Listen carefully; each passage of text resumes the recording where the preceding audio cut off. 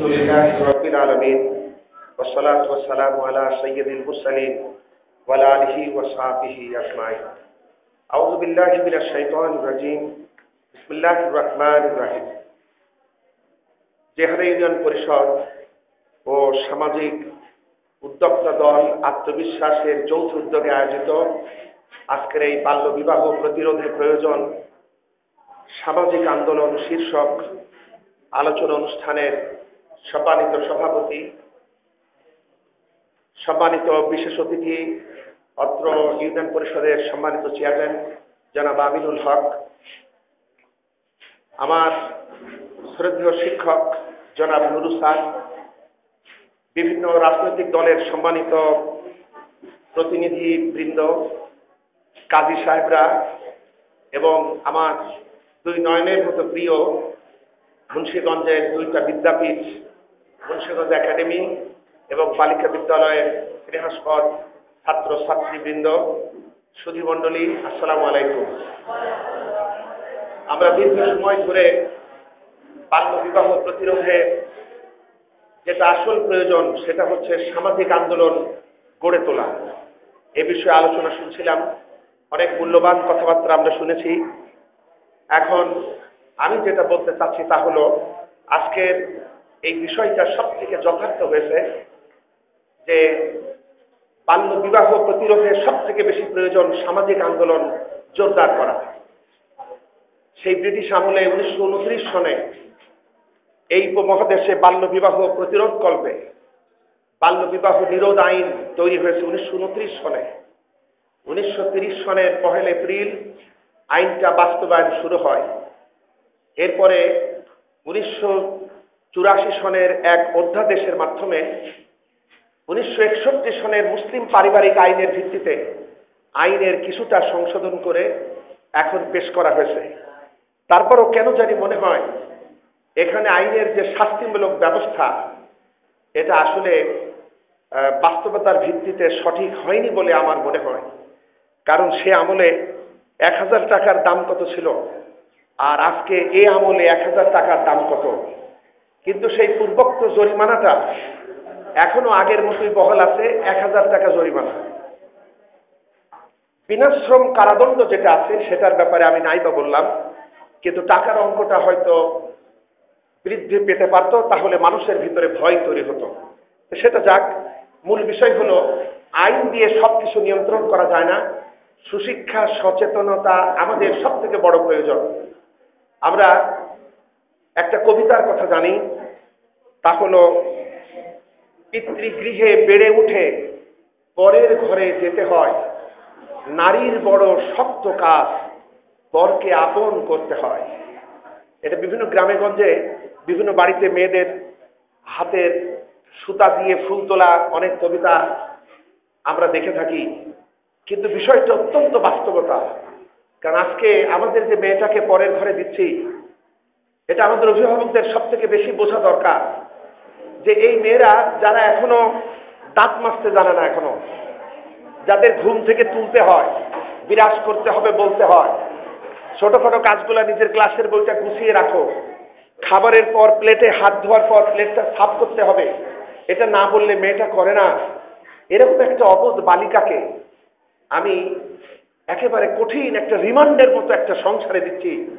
যে সংসারে তার আপন কেউ নেই, যদিও নামে আপন, কেউ শাশুড়ি, কেউ ননদ, কেউ দেবর, কেউ ভাবি, কত কিছু, কিন্তু আপনি একটু চিন্তা করুন, এই মেয়েটা যখন রানীর সাথে সাজিয়ে ফুলের মতো করে তাকে অন্য ঘরে দিচ্ছি, ওরা কি আপন হয়ে তাকায়? প্রথমেই তাকায় যেন খুদ ধরার জন্য। আমাদের দেশে মেয়ের হাজারো দোষ মা সহ্য করে, কিন্তু কিন্তু পুত্রবধূর সামান্য ত্রুটিটা শাশুড়ি সহ্য করে না। ননদরা সবসময় চেষ্টা করে তিলকে তাল বানানোর জন্য। কারণ সমস্ত এভাবে সুশিক্ষিত হয়ে গড়ে ওঠেনি। যে জন্য আজকে খুব বেশি প্রয়োজন ছিল। আজকে যারা ভিকটিম, তারা আমার সামনে বেশি। অর্থাৎ মেয়েরা এবং ছেলেরা, তাদের অভিভাবকরা খুব একটা আসে নাই। এই সামাজিক আন্দোলন জোরদার করতে হলে আত্মবিশ্বাসের মতো সংগঠনদেরকে আত্মবিশ্বাস অর্জন করে এই ছেলে মেয়েদের পিতা মাতাদেরকে ডাকতে হবে।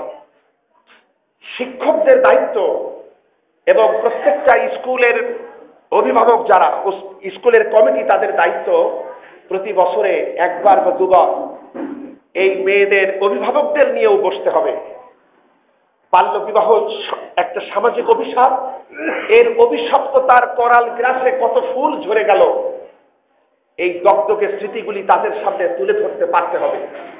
কত ফুল ফোটে আর ঝরে, এই পৃথিবীর পরে কে রাখে তার খবর? এই খবর তাদের কানে দিতে হবে। যে পরকে আপন করার যে কাজটা, সেই কাজটা অনেক কঠিন, অনেক বাস্তব অভিজ্ঞতার মুখোমুখি এদেরকে করতে হবে। তাদেরকে সুশিক্ষায় শিক্ষিত হতে হবে। এজন্য আমি মেয়েদেরকে বলব, তোমার বাড়িতে যখন তোমার কিছু নিকটের আত্মীয়রা কানাঘুষা করে তখন একটু কান পেটো তাহলে শুনতে পাবা, তারা তোমার বিয়ের আয়োজন করছে। তোমার এই আপন পরিবেশ থেকে তোমাকে খুব যত্ন সহকারে সরাতে চাচ্ছে। তখন তুমি প্রথম যে কাজটা করবা, সে কাজটা হলো তুমি প্রথম তোমার শিক্ষকদেরকে জানাও। এজন্য শিক্ষকদেরকেও তাদের বন্ধুর মতো পাশে দাঁড়াতে হবে। তাদের জানাও, শিক্ষকেরা এবার ভূমিকা নিক তারা স্বজনের থেকে স্বজন হয়ে ওই অভিভাবকের মা বাপের সাথে কথা বলুক। যদি আর্থিক অনটন থাকে স্কুলের বেতন ভাতা কমায় দেওয়া হোক, হাফ ফ্রি, ফুল ফ্রি করা হোক, এভাবে এগিয়ে আসতে হবে। এভাবে এগিয়ে আসতে হবে। কারণ প্রত্যেকটা এনজিও, সংস্থা, ইউনিয়ন পরিষদ এবং স্কুল কর্তৃপক্ষকে বুঝতে হবে, এই মেয়েটার আব্বা, সেও যে একেবারে বোঝে না তা না। কি কারণে আজকে বিয়ে দিতে চাচ্ছে? তার কষ্টটা কি? এটা যদি খোঁজ নিতে যাই, তাহলে অন্তত কিছু কিছু বাস্তব ঘটনা তাদের কাছে আসবে। সেটা হলো, এই মেয়েটা যখন স্কুলে যায় বাজারের কিছু বকেটে ছেলেরা তাকে ইভটিজিং করে, তাকে রাস্তায় উত্তপ্ত করে। ছেলের বাপকে বলার পরও ছেলের বাপ মা বিশ্বাস করে না। ছেলের বাপ মাকে যদি মেয়ের বাপ বলতে যায়, এটা তার জন্য একটা লজ্জা। অনেক কটুক্তি শুনতে হয়, তোমার মেয়েটা এমন কি সুন্দরী যে জন্য আমার ছেলের আর কাজ নেই, তাকে রাস্তাঘাটে কথা বলবে? এরকম অনেক সময় বাজে কথা শুনতে হয়। এজন্য এইরকম কষ্টকর, নিঃসঙ্গ মুহূর্তে ওই মেয়ের অভিভাবকের পক্ষে শিক্ষকদের দাঁড়াতে হবে, সমাজের সুশিক্ষিত লোকদেরকে দাঁড়াতে হবে, আত্মবিশ্বাসের মতো এনজিও প্রতিনিধি যারা যারা এই এই ময়দানে কাজ করছেন, চেয়ারম্যান মেম্বার, বিশেষ করে মহিলা মেম্বারদের দায়িত্ব, তাদেরকে তাদের পক্ষে দাঁড়াতে হবে। আমরা একটা জিনিস লক্ষ্য করি যে, যখন বিয়ের আয়োজন হয়ে যাচ্ছে, খানার লোকেরা চলে এসছে, তখন কিছু মতলববাজ লোক, অতিশয় ধুরন্ধর কিছু লোক সহ্য করতে না পারে তখন হঠাৎ করে ফোন দেয় ইউনো সাহেবের কাছে। ফোন দেয় এনজিও প্রতিনিধিদের কাছে, অমুক জায়গায় বিয়ে হচ্ছে, ঠেকাও। তুমি এতক্ষণ কোথায় ছিলে? যখন এই বিয়ে তো হঠাৎ করে হচ্ছে না, এই বিয়ে নিয়ে কথাবার্তা হয়েছে, দেখা দেখি হয়েছে, লাল রং, আদান প্রদান হয়েছে, ক্ষীর খাওয়া হয়েছে, কত কিছু হয়েছে, তুমি ছিলে কোথায়? যদি সময় মতো জনপ্রতিনিধিরা ওই অভিভাবকের খোঁজ খবর নিতে পারেন তাদের পক্ষে দাঁড়াতে পারেন, শিক্ষকেরা দায়িত্ব পালন করতে পারেন, তাহলে এতগুলো এই হরিষে বিষাদ, এই এত বড় আনন্দমুখর অনুষ্ঠান নষ্ট করার দরকার তো নাই। কিন্তু এটা কেন হলো? আমরা যারা সমাজ সমাজের প্রতিনিধিত্ব করি, আমরা জনগণের ব্যথা বুঝি না। হঠাৎ করে ঈর্ষা কাতর হয়ে তখন আমরা ফোন দেই। তখন এই কাজটা করা মানে কি হবে? সামাজিক তিক্ততা বাড়ে, শত্রুতা বাড়ে, এ কাজ থেকেও আমাদের দূরে থাকতে হবে। এজন্য অন্তত মেয়ের বাপ যারা, তারা কারা? এটা আমাদের মহিলা মেম্বাররা সব থেকে ভালো বুঝতে পারবেন, এক। দুই নম্বর, মহিলা আমাদের মেয়েরা যে স্কুলগুলোতে পড়েন, তার শিক্ষকের এবং সেই স্কুলের অভিভাবকরা যদি একটু উদ্যোগী হন, তাহলে এই মেয়েগুলোর অভিভাবককে আপনারাও চিনতে পারেন। প্রথম থেকেই যদি তাদেরকে সচেতনতা দেওয়া হয় এবং তাদের মেয়েরা যখন রাস্তায় বিপদে পড়ে, ওই সময় শক্তভাবে তাদেরকে সাপোর্ট দেওয়া হয়, তাহলে বোধ হয় সামাজিক সচেতনতা বাড়বে, আত্মবিশ্বাস বাড়বে, মেয়ের মেয়ে মেয়ের বাপ শখের বসে এই কাজটা করে না। মেয়ের বাপ যে কাজটা বিয়ে দিতে গিয়েছে, ও যেমন বিপদে পড়ে বিয়ে দিতে গিয়েছে বাল্যকালে, বালিকাকালে, আবার যে চেয়ারম্যান মহোদয় বলল যে যখন তালাক হয় তখনও বাপ মা খুশি হয়। যাক, অন্তত ওই অভিশপ্ত ফ্যামিলি থেকে আমার মেয়েটাকে তালাক নিয়ে আবার আনতে পারলাম। মানে বিষয়টা এমন হয়ে গেল, আসলে মেয়ের বাপ তো আসলে নিরাপত্তা চেয়েছে, শান্তি চেয়েছে, সম্মান চেয়েছে। একসময় ইপটিজিং এর জ্বালাই বকেটে ছেলের উৎপাতে তার মনে হয়েছে, মেয়েটা বিয়ে দিতে পারলেই বোধহয় আমার সম্মান রক্ষা হবে। আবার একসময় ওদের অত্যাচারে মেহেদির রং না শুকাতে আমাদের মেয়েরা লাশ হয়ে যাচ্ছে, এটাও তো আমাদের ইতিহাস। তে তখন মেয়েটা যে অন্তত বেঁচে আসলো, এই অনুভূতিতে মেয়ের বাবা আনন্দ হচ্ছে।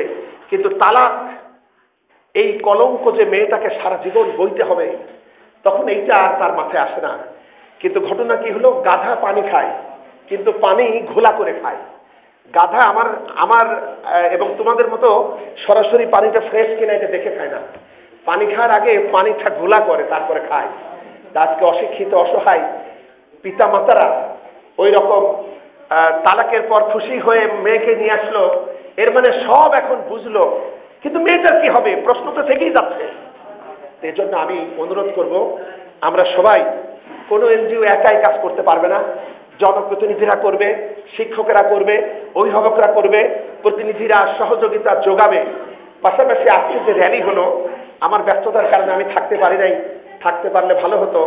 আমি অনুরোধ করব এনজিও প্রতিনিধিদেরকে যে আগামীতে আজকে আমরা যে রাস্তায় র্যালিটা করলাম, আমি জানি এই রাস্তার আশপাশে যে বাড়িগুলা, তাদের বাড়িতে কোনো বাল্য বিবাহ হয় না এবং হবেও না, যেহেতু এটা শহর এলাকার মানুষ। বাল্য বিবাহ বেশি হয় গ্রাম এলাকায়। এর জন্য খুব ভালো হয়, আমরা যখন ভোটে দাঁড়াই, তখন যেভাবে শোডাউন করা হয়, গোটা উপজেলা চষে ফেলা হয় মোটরসাইকেল সাইকেল ফেস্টুন নিয়ে, কেউ কেউ নসিমন, করিমন নিয়ে দৌড়ায়। এভাবে যদি আমরা জনপ্রতিনিধিরা এনজিও প্রতিনিধিরা, শিক্ষকেরা, অভিভাবকরা সবাই মিলে যদি একটা র্যালি এরকম করতে পারতাম, একটা শোডাউনের মতো, তাহলে বোধহয় এই অবহেলিত সমাজের নিরক্ষর মা বাপ আত্মবিশ্বাস ফিরে পেত এবং তারা আত্মবিশ্বাসের মতো আজকে আমাদের সাথে এক হয়ে ঘোষণা দিতে পারত। যে ঘোষণা আমরা শিক্ষিত হয়েছি, সচেতন হয়েছে বলে দিচ্ছি, তারাও দিতে পারত যে আমরা আমাদের মেয়েদেরকে, ছেলেদেরকে বাল্যকালে আর বিয়ে দেব না। আমি আজকের এই যে প্রতিনিধি, আমি এটা আমাদের সচেতন হওয়ার একটা অনুষ্ঠান বাল্য বিবাহ প্রতিরোধের যে সামাজিক প্রতি সামাজিক প্রতিরোধ করতে হবে, এজন্য ইমামদের ভূমিকাও অসাধারণ। প্রত্যেকটা ইমামকে ইমাম ট্রেনিং এর সময় সেই ট্রেনিং দাতা সংস্থা থেকে, ইসলামী ফাউন্ডেশন থেকে বলে দেওয়া হয়েছে, প্রত্যেকটা জুমার খুতবাই যেন বাল্য বিবাহের কুফল সম্পর্কে বলা হয়। কিন্তু ইমামরা নীরব। তাদেরকে সরব করানোর জন্য এই ধরনের অনুষ্ঠানে এনজিওদের যদি কিছু পয়সাও লাগে, তাহলে অন্তত অন্তত ইমাম সাহেবদের যদি আসা যাওয়া খরচ দিয়েও তাদেরকে আজকের এই অনুষ্ঠানে আসা আনা যেত তাহলে বোধহয় আরও ভালো ভূমিকা হতো। কারণ একটা জুমার দিন তারা তো একটা টিভির মতো ভূমিকা রাখেন। জুমার দিনে এ সমাজের অধিকাংশ মানুষ জুমার দিন তাদের সামনে ওই সমস্ত অভিভাবকরা তাদের সামনে সুতরাং এদিকেও আমাদের তৎপর হতে হবে। একটা হাত ধুতে হলে যেমন আরেকটি হাতের প্রয়োজন হয়, কেউই একা কোনো সুফল আনতে পারবেন না। সুতরাং সেই সুফল আনতে হলে পরস্পর আমরা সহযোগিতার বন্ধনে আবদ্ধ হই এবং আমরা এভাবে একটা দুর্জয় প্রতিরোধ গড়ে তুলি, সামাজিক সচেতনতা সৃষ্টি করি, তাহলে আমার বিশ্বাস যে আমরা আমাদের এই ইউনিয়ন, উপজেলা, জেলাতে এবং সমগ্র দেশ থেকে বাল্য বিবাহের অভিশাপ মুক্ত করতে পারব বাংলাদেশকে। আল্লাহ তৌফিক দান করুন, আমরা বলি আমিন। আরেকটি কথা বলি, আমার শিক্ষক নুরু স্যার, তিনি অসুস্থ। আমরা তার জন্য দোয়া করি, আল্লাহ পাক তাকে সুস্থতা দান করুন, তার প্রতি রহম করুন, তার তার যে অবদান, আল্লাহ তার স্বীকৃতি দিন। পাশাপাশি আজকের অনুষ্ঠানে যিনি সভাপতিত্ব হওয়ার কথা ছিল, তিনিও আমার ছোটবেলার শিক্ষক, আমাদের শ্রদ্ধেয় তাহাজ মাস্টার তার শাশুড়ি অসুস্থ। আমি দোয়া করি আল্লাহ পাক তাকেও সুস্থতা দান করুন, তাকে ভালো রাখুন, তাদেরকে শান্তি, সমৃদ্ধি দান করুন। এই কথা বলে আমি আজকের এই অনুষ্ঠানের সাফল্য কামনা করে বক্তব্য শেষ করছি। আল্লাহ হাফেজ। আসসালামু আলাইকুম